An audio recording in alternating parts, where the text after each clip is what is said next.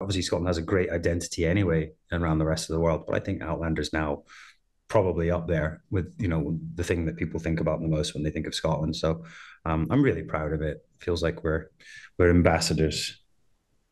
Am I an honorary Scotland? You are. Oh, okay, good. Yeah. McBalfe.